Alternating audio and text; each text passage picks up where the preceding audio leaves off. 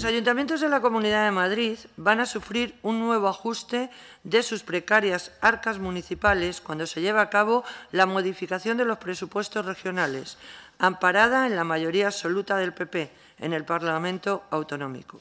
El nuevo ajuste a los ayuntamientos se caracteriza por nuevos recortes como eliminación de inversiones previstas y comprometidas para los municipios. Los ayuntamientos han utilizado estas partidas económicas para formar y proteger a los desempleados de sus municipios, así como para la eh, prestación de una serie de servicios que sin este apoyo dejarán de ser prestados en los próximos meses.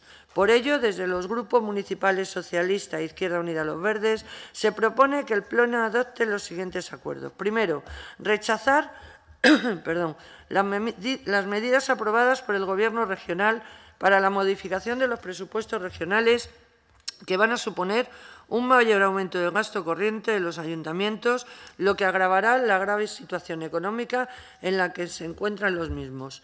Instar al Gobierno regional a que se mantengan las políticas activas de empleo, dado que en una situación extrema de desempleo estos programas sirven para apoyar y formar a los desempleados. Tercero, instar al Gobierno regional a reorientar la política económica utilizando los mecanismos fiscales para generar más ingresos procedentes de quienes más capacidad económica tienen instar al Gobierno regional a priorizar la política de gastos, priorizando el mantenimiento de los servicios públicos y de la atención a las personas mayores y más desfavorecidas. La presidenta Esperanza Aguirre va a seguir haciendo recortes más adelante y además lo hará, lo continuará haciendo en sanidad, en educación, en transporte público y la rebaja de sueldos a los empleados públicos. El proyecto de ley de modificación de los presupuestos era en realidad una excusa para subir tasas y recortar el sueldo a estos empleados públicos con las repercusiones que conlleva para los presupuestos y las arcas municipales. El grupo, parlamentario de Unión Progreso y Democracia presentó 36 enmiendas parciales al proyecto de ley de modificación de los presupuestos generales de la Comunidad de Madrid para el año 2012. Eh, desde luego, lo que sí no y tenemos es una economía sobreendeudada y con enormes problemas de financiación.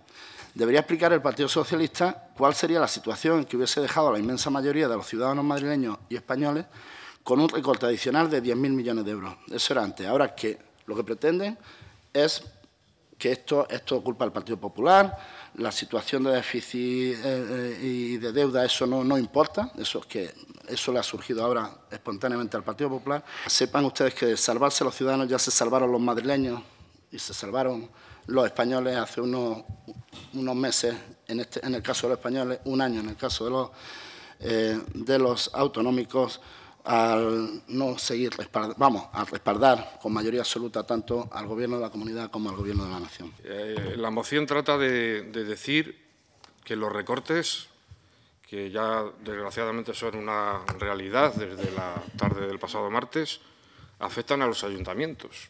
Por cierto, que son los segundos recortes y lo que venimos a plantear es que si es que los recortes son necesarios, que puede que lo sean en algunos casos, no tienen por qué recaer única y exclusivamente en las partidas relacionadas con los gastos de carácter social, que es lo que está haciendo el Gobierno de Esperanza Aguirre. La acción presupuestaria que nos presenta acude al rescate de la concesionarios de autopistas, al rescate de la banca y al beneficio con amnistía fiscales de las rentas más altas en la Comunidad de Madrid. El Gobierno del Partido Popular se carga las políticas activas de empleo al recortarlas en un 80%, Echan a la calle a cientos de trabajadores al recortar, cortar 14 millones de euros en los centros especiales de empleo para la discapacidad y les roban a los trabajadores y trabajadoras en activo el 64% de lo que aportan para su formación.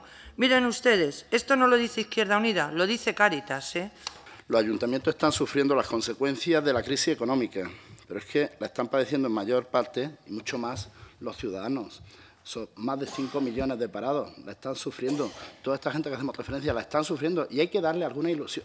Les recuerdo que mientras gobernaron la Moncloa los últimos, los últimos cuatro años, ¿eh? castigaron a la Comunidad de Madrid, castigaron directamente a la Comunidad de Madrid a través de los presupuestos generales, dejaron de aportarle 9.000 millones. Entonces no decían nada, no protestaban, no se han quejado sonreían y además decían, pues mira, que le den un poquito a la presidenta. No saben que es que es nuestra presidenta. Seamos del PP, seamos del PSOE, seamos de Izquierda Unida, seamos de UPyD, y lo que le hagan mal a un gobierno de la comunidad va a repercutir negativamente, tanto en la comunidad como en su ayuntamiento y, por supuesto, por desgracia, en sus vecinos.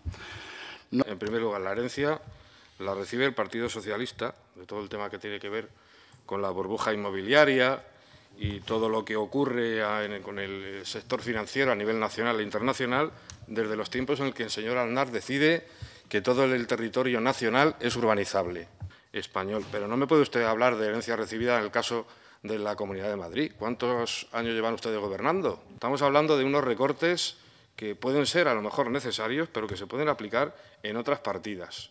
Y con esta ley de presupuestos lo que ha demostrado el Gobierno regional es que es enemigo de los ayuntamientos, incluidos los suyos. Y vuelca gastos y problemas sobre los ayuntamientos. Por eso le digo que es enemiga de los ayuntamientos. Ahora mismo hay un recorte ya decidido por parte del Gobierno regional de un 3,3 para los funcionarios. Aquí hay alguno que lo va a sufrir. Como no se escucha habitualmente, pues se votan mociones en el Pleno y no se sabe qué se han votado, ¿no? Y a este Pleno se han venido en otras épocas mociones contra los presupuestos generales del Estado. Con la política absolutista que está practicando, están reduciendo las rentas de los trabajadores y las trabajadoras, una especie de devaluación que nos convierte cada día en un poco más pobres. Pero ¿cuándo se va a pronunciar usted alguna vez sobre temas que interesan a la calle, al ciudadano? ¿Usted sabe lo que va a tener que pagar una familia que, tenga que llevar a su niño o a su niña a una escuela infantil en Fuenlabrada? Con esa subida del 174%, que ha sido una subida bestial. Nosotros, independientemente de quién tome las medidas, aunque sean de nuestra propia organización política, cuando no estamos de acuerdo, lo decimos. Lo decimos en los marcos que lo tenemos que decir. Y yo sí me pronuncié ante algún medio de comunicación que estaba en contra de la bajada del 5% a los funcionarios. Y aquí no tuve más remedio que aplicarlo porque me lo obligaba la ley, porque ya sabe usted que yo no podía ser insumiso.